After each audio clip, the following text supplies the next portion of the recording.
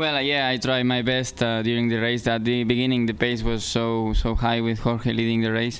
I tried to to stick with him, but um, by the middle of the race, I, I was really tired. I, I couldn't find any, find any place in this track to, to rest a little bit the arms, and basically I couldn't at the end uh, get enough strength to, to keep up the pace. Uh, so I had to to release a little bit uh, and the throttle, and then try to, to get to the end third position. So I'm still very happy with the with the podium because it's. Uh, it's, I'm just come back from injury, so really happy, hoping to, to get some fitness more better for, for the next race, and, and, and just happy about the result. It was a, a very hard weekend, so th thanks to the team and, and to all the people around me.